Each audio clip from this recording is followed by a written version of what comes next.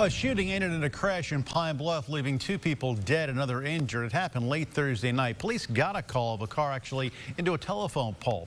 Riley Birdwell joining us now live. She is in Pine Bluff. Riley, you spoke with people who heard the gunshots. What was their reaction to all this?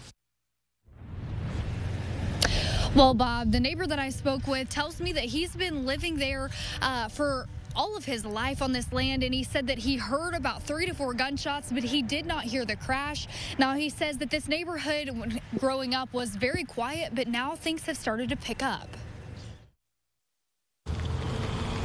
Rain trickling down and cars slowly rolling by at the site of where one man lost his life. It's an unfortunate incident. According to Pine Bluff police, late Thursday night, two men were shot while driving in their car. I think I was like around about 10 something, uh, about three or four shots. That's about all I heard. Philander Green says he heard the gunshots. It didn't look like it was too far. It didn't sound like it was, you know, at the time, you know, so it wasn't, it wasn't far.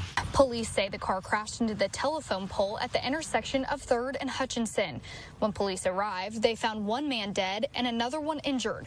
The injured victim was then taken to the hospital. It's unfortunate, you know, and I don't, you know, I don't know, you know, there's so much stuff going on now, you know, it, you just have to be really careful. Green has lived in the area all of his life, but he says this type of situation isn't shocking. It used to be pretty quiet when I was coming up, you know, now it look like you know, things and got kind of carried away. so much crime and and stuff going on now, shooting and stuff, you know, people getting hurt and maybe possibly killed.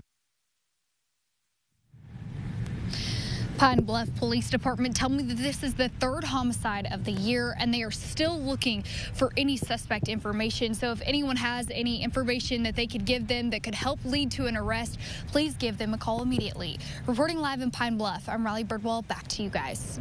Riley,